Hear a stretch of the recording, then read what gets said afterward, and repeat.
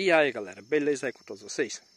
Bom gente, tá Tô passando aqui só para mostrar mesmo para vocês aqui é, Essa minha torceirinha de hortelã Que eu plantei Ó, nesse vasinho aqui Essa jardineira bem pequena Eu não sei se é um litro e meio Ou se são de dois litros Mas enfim eu acho que é um litro e meio.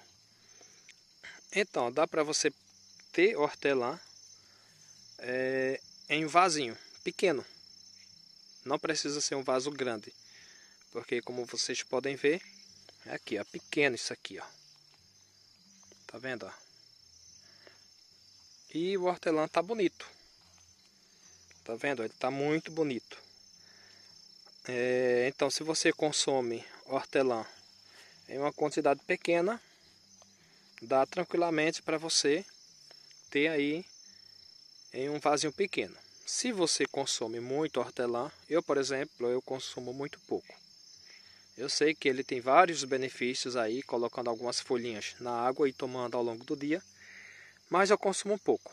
Né? Eu sou sem vergonha nesse ponto. Mas assim, gente, dá para ter sim se você consome mais, planta mais, uma quantidade maior, 3, 4, 5 vasinhos desse aqui. É, você pode fazer a germinação da semente. Aliás, perdão, a germinação da semente dele é muito difícil. Então é melhor você ir lá no, no supermercado, comprar o chumaço, acho que é chumaço que chama, e colocar para enraizar na água. Né? Então, você fazendo isso, depois é só transferir para cá, né, para um vasinho pequeno.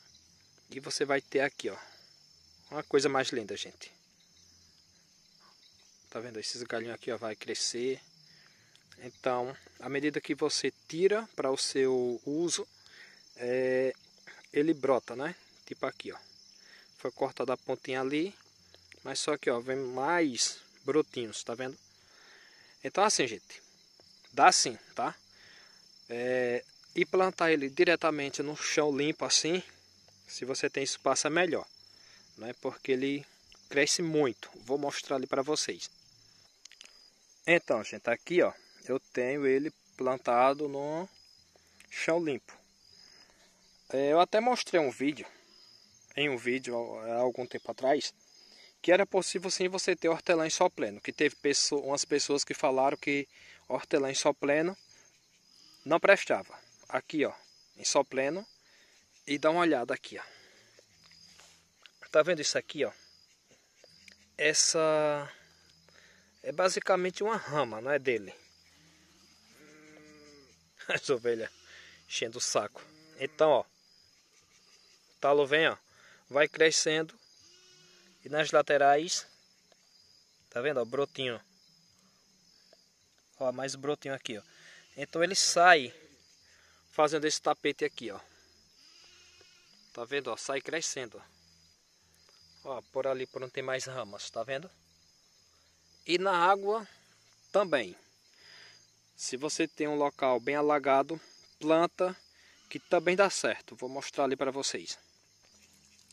Então, gente, aqui, ó, é, diretamente na água, tá vendo?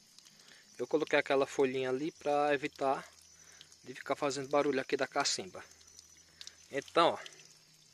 Eita! Ó, gente, essa formiguinha aqui, ó, isso é uma praga. Então, ó, diretamente da lama. tá vendo aqui, ó? Ele tá dentro da lama aqui, ó. E olha os galhos. Bonito, ó. Olha a quantidade de raiz. Isso aqui para plantar, fazer muda é excelente. Tá vendo aqui, ó, dentro da lama. Tinha mais, é porque minha mãe ela arrancou sem, sem perceber. E é isso, gente. Mas o foco principal é o que? É isso aqui, tá? Você poder plantar e levar para onde você quiser. Então esse aqui, eu vou levar ele para casa. E é isso, gente. Ó, lindo, né? Espero que tem ajudado, tá? Não tem segredo para plantar. É só dar uma olhadinha aí em alguns vídeos que eu fiz, que eu ensino todo passo a passo. E hoje eu só vim mesmo mostrar para vocês o resultado, que é possível sim. Tá bom? Fiquem todos com Deus e até o próximo vídeo. Tchau, tchau.